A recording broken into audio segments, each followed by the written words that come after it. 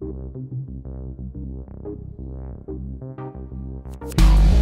know what, sir? You know what, sir? We don't do no borrowing. He's a lender. Yes, straight up. Yes, called. Yes, called. Yes, called.